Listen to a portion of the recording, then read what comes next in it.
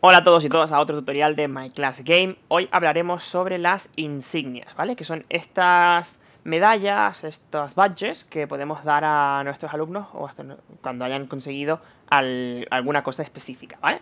Entonces, ¿cómo funcionan? Si os fijáis, aquí yo tengo para crear una nueva insignia y es tan sencillo como ponerle el nombre, un nombre identificativo, capaz que sea llamativo, que les guste, una descripción, que es lo que se necesita hacer para conseguir esta insignia, y eh, aparte nos podemos colocar unos puntos de experiencia que se, que se ganen de extra cuando se da la insignia y un nivel, que sería como un nivel de requisito para poder recibir esa insignia. Estas insignias de momento las da el profesor, tal y como están programadas en la versión 1.3, que es en la que estamos ahora, ¿vale?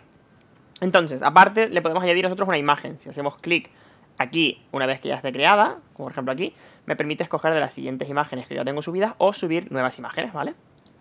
¿Qué pasa? Si os fijáis aquí yo tengo ya diferentes creadas, estas ni siquiera tienen la, la, la, descripción y simplemente están preparadas para asignarse con el nivel, ¿vale? Cuando suben de nivel.